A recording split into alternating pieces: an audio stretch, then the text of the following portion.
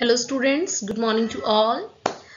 I hope all are doing well और आपने last topic पढ़ लिया होगा that was all about factors affecting और factors help in maintaining community health ठीक है today we will discuss about what is the basic conditions for the good health and how you can distinguish between a healthy and a disease free person okay so we will proceed uh, to the difference first okay um, i'm just taking highlighter so that you can be able to understand okay first one is healthy and second disease free किस person को आप healthy कहेंगे ठीक है it is the state of physical mental and social wellbeing again वही same है health वाली जो है, जिसके अंदर फ़िज़िकल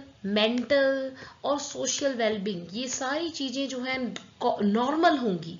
उस पर्सन को आप हेल्थी कहोगे। वो सोच भी अच्छा पा रहा है, वो दूसरों से बात भी अच्छे से कर पा रहा है, वो उसकी बॉडी फिट है फिजिकली फिट है, ठीक है? देन ही और she will be term as healthy. Okay? So, what is disease free? It is the state of absence of any kind of discomfort or derangement. आपको ये वाली टर्म करने की ज़्यादा ज़रूरत नहीं है। आप डिस्कम्फर्ट बोलो। मतलब उसको अच्छा फील नहीं हो रहा। कंफर्टेबल नहीं है। डिस्कम्फर्ट मीन्स कंफर्टेबल नहीं है। ठीक है? उसको कोई ना कोई प्रॉब्लम लग रही है कि बॉडी में कोई प्रॉब्लम है। ज़्यादा डाइजेशन अच्छी नहीं है, या वो अच्छे से बात नहीं कर पा रहा, वो डिप्रेस्ड है। तो अगर हम ये चीज़ बोलते हैं तो उसको डिज़ीज़ है। लेकिन अगर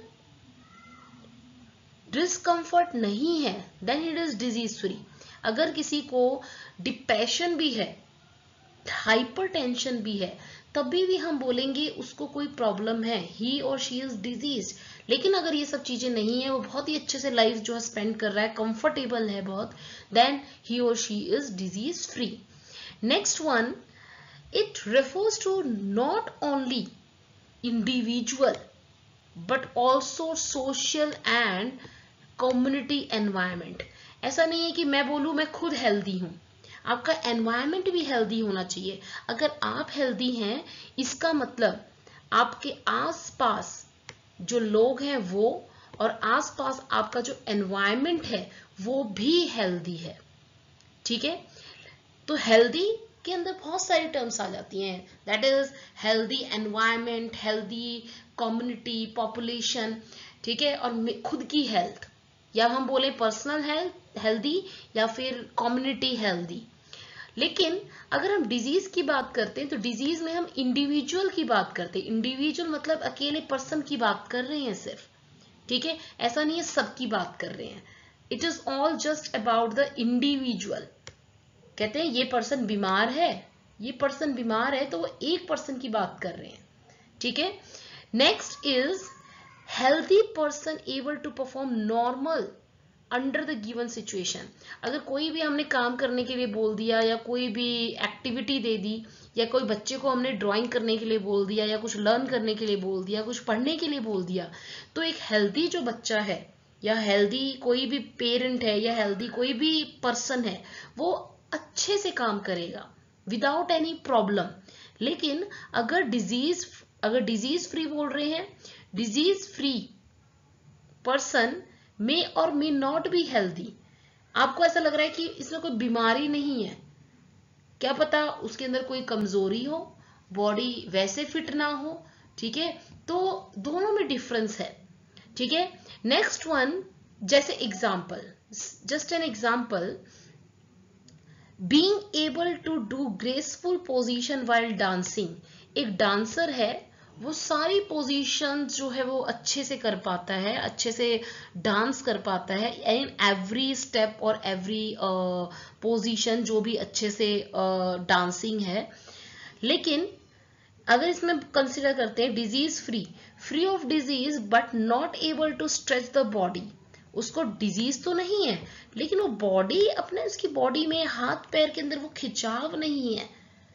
तो दो बच्चे हैं दो बच्चे हैं से आ, हम ना, नाम नहीं रखते हैं बोलते हैं ए एंड बी ठीक है? They are two person two students two children ए बहुत ही उसकी बॉडी फ्लेक्सिबल है।